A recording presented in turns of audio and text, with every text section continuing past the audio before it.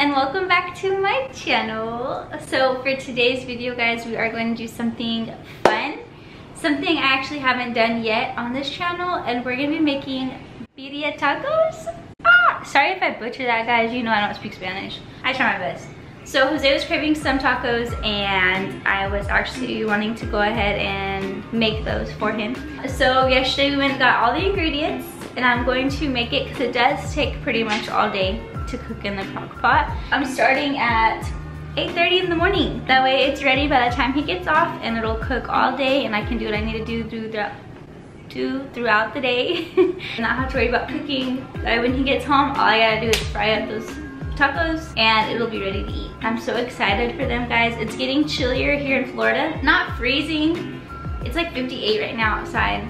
The cooler weather brings more crock pot recipes I guess you could say so for the recipe I actually didn't come up with this recipe myself I when it comes to stuff like this I feel completely lost and I don't even know where to start so I always YouTube my recipes and I actually found the recipe on from a channel on YouTube and I will link her down below guys. She made it so easy, very detailed, straight to the point, gives you everything you need and it's very easy. I did go ahead and write the recipe down in my recipe book. If you guys know, if you've been keeping up with me, I did start a recipe book for the kids when they get older just to have kind of kind of like a little family thing that I'm starting. I will be going off of her YouTube. I'm, if you're like me, I'm a visual learner. I don't like to sit and read to figure out what I need to do.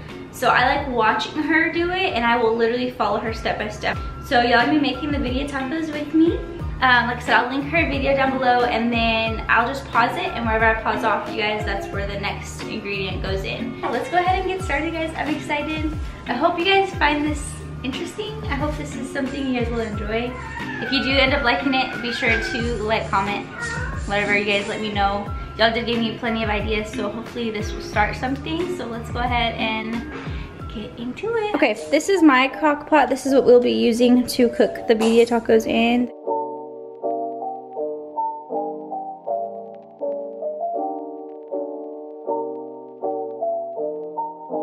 Calls for beef shank. We're gonna use chuck roast. All we have to do is slice it into not super small pieces, just maybe thirds, and brown it. She likes to brown her meat on both sides for maybe a minute and then throw it in the pot. So that's what we're gonna do.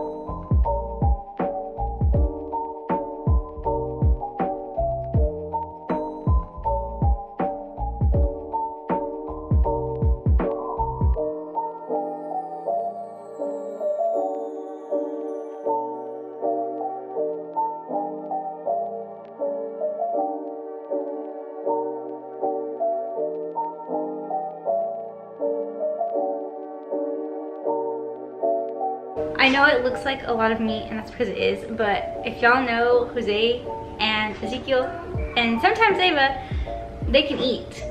They can eat. So it's a lot, it looks like a lot, but it'll get, all get ate. Probably by today, honestly. And excuse AJ guys, he's in here eating. So if y'all hear him, he's here. Okay, so next are all the other ingredients. Show you guys what I'm adding, how much I'm adding of it.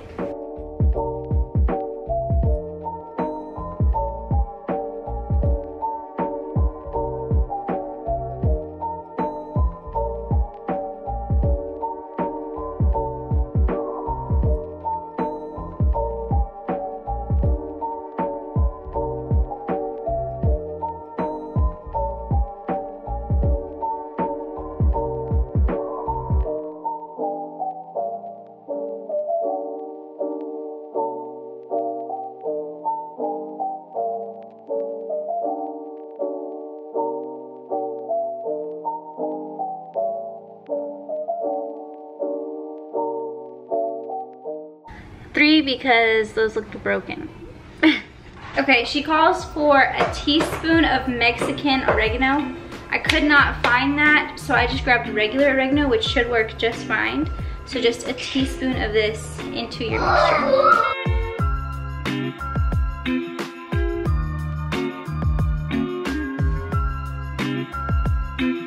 Okay, now she calls for just a dash of cinnamon.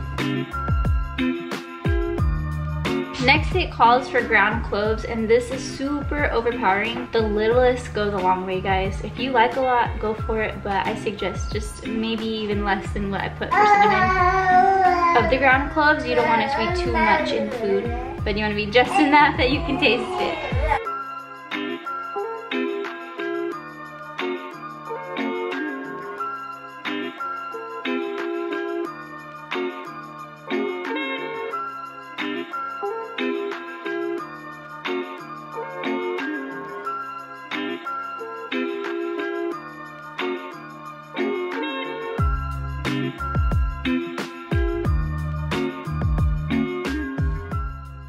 Okay, so this is it right now. We are missing the puree, so we're gonna make that in just a bit.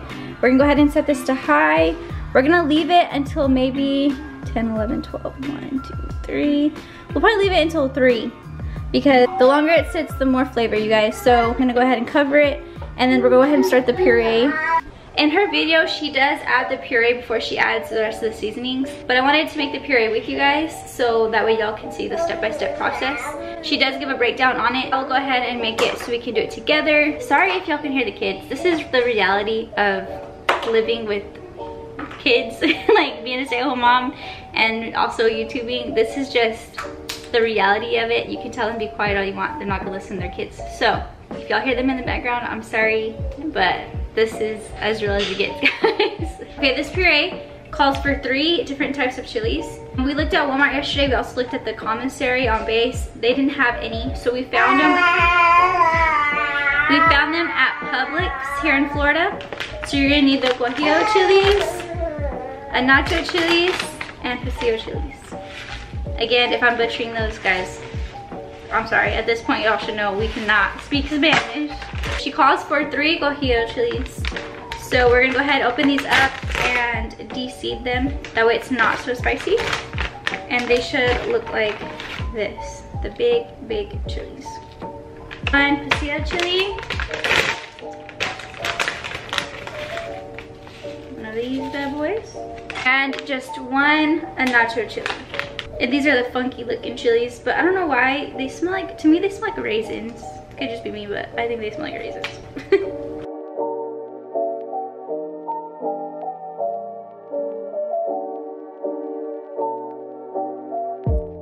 I actually just rinsed the chilies. Now we're gonna throw them in a pot. We're gonna let them boil.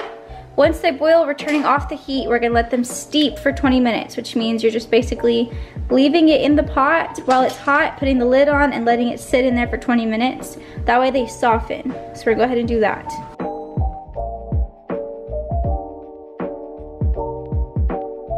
Okay guys, the chilies are done steeping. We're gonna go ahead and throw them in the blender. She says that she doesn't add the water from the chilies because it gives um, like an, a bitter aftertaste, which I wouldn't know nothing about that because your girl is just learning. So we're gonna do exactly what she says because I trust her because her food came out bomb the first time I made it. We're gonna just throw all the chilies throw all the chilies into the blender. So next, she adds one chipotle chili with adobo, adobo, adobo sauce on it. It looks like this. It's not this brand that she uses, but this is I could find. So we're gonna add just one chili. I do have regular chipotle peppers, but she added the flavor to it, so therefore I want to add the flavor to it. we're gonna just throw that one in there. But then next, all she adds is one cup of water and that's the puree, guys. Super easy. And then once that's done, she strains it and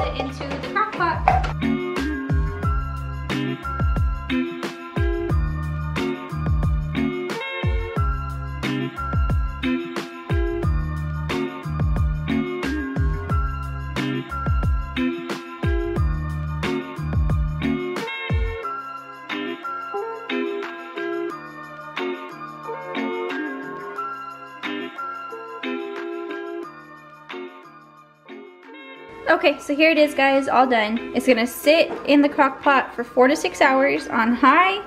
We're gonna let it sit as long as we can. That way all that flavor gets soaked in. Okay, so I just realized the chili that she uses for the salsa, I actually don't have it, but I have something similar. And I'm not too sure how spicy these are gonna be. So I'm going to add, I'm probably gonna kick myself in the butt later for this, but I'm gonna add a ghost pepper. A ghost chili? I, I don't know. Guys, I like the burn. I like spicy. Jose probably won't eat this, but I want to give it a try because I've never made it before. So clearly the recipe is not going as she stated it, states it is, but we're gonna go ahead and try our own way. So I guess we're just gonna throw it in boiling water and see how this goes. okay, so I'm just gonna add about seven of these, take the stems off, take out some of the seeds, and throw them into the pot that I already have boiling.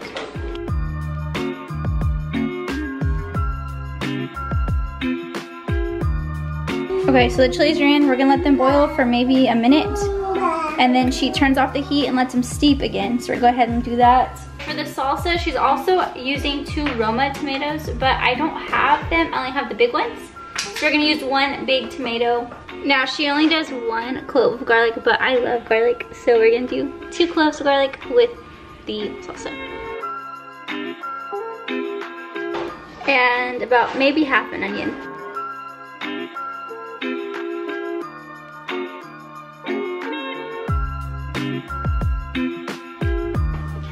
She also adds this into the salsa, which I've never done. So we're gonna go ahead and try it and see how it tastes.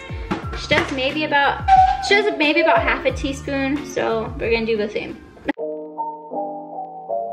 She said she saves half a cup of the water that the chilies were in this time. So we're gonna go ahead, scoop out some water, put the chilies in, and give it a good blend. See how it turns out.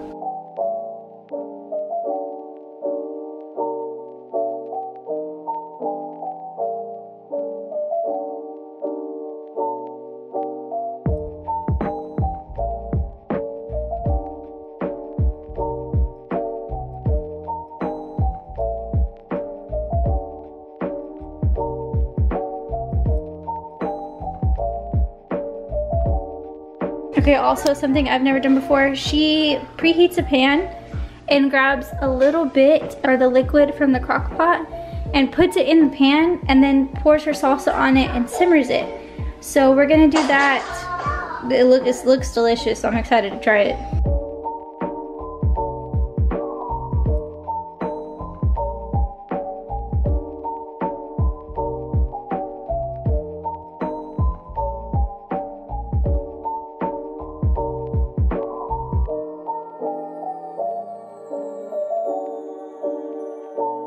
Okay, so this is gonna simmer for five minutes. It's now, guys, it is now 11 o'clock. Can you believe that? Mm-hmm. it's taking me that long because I have children and they have to eat and everything, diapers everything. So, and then every now and then I'll go ahead and give it a stir. I'm gonna have to keep adding water to it because the meat's sticking out, got a lot in there. And then taste it, and if it needs more seasoning, go ahead and do that. And then I'll get back to you guys whenever we get to making the tacos. Hopefully, hopefully I make them right this time. Last time I made them, they would not stay put. I watched her make them again a couple more times so I'm gonna do it like how she did and hopefully I can get them to stay and then that's it. Um, I might make the kids potato tacos. If you don't know what those are they're the bomb. I already made some homemade mashed potatoes. We have a bowl left of them so if the birria is too spicy for the kids I'll go ahead and make some fried up potato tacos and they'll eat that I definitely have fun cooking. Cooking is definitely something I love to do. As you can tell, I'm not a pro at it. I'm still learning. So if y'all want more videos like this, definitely let me know. We can try more recipes and give you guys ideas. We do have a few recipes within the family that I could probably put out. We'll definitely see about that. I don't really believe in this is like a secret recipe so you can't have it type of deal. I like to share what we make. That way y'all can taste what we make, if that makes sense. So yeah, I'll get back to you guys whenever it's time to make the birria. Um, whenever it's time to make the tacos, not the birria because it's made. But you know what I mean. Okay, see you guys in a little bit. Okay, so Jose just got home and I didn't know he was coming home because he came home early. So I'm gonna go ahead and chop up the meat and put um, half of it back in there. That way we can have it with the stew and then start making the tacos.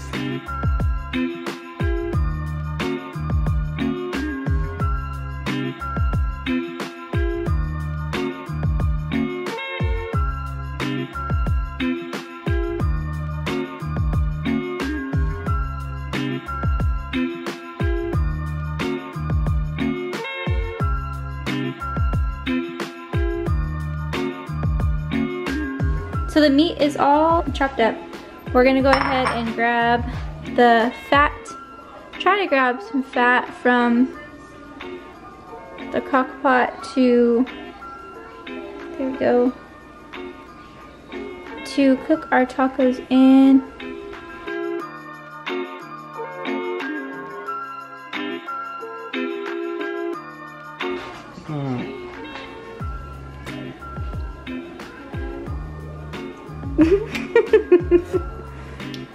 Babe? Delicioso. mm. Good.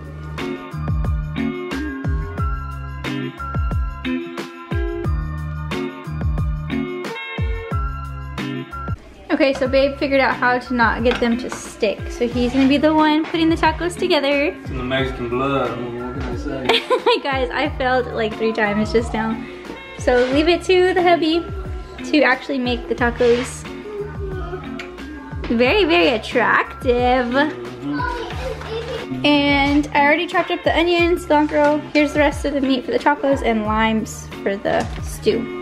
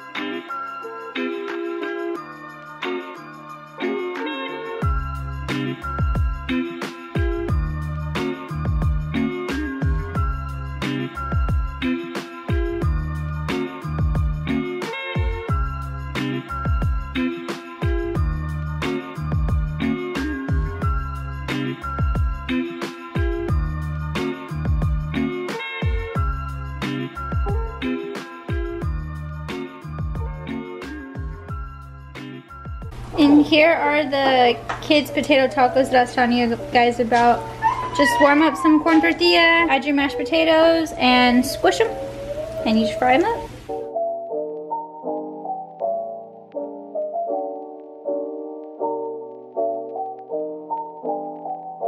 Alright guys, that's it for this week's video. I hope y'all enjoy it. If you do like it, be sure to let us know.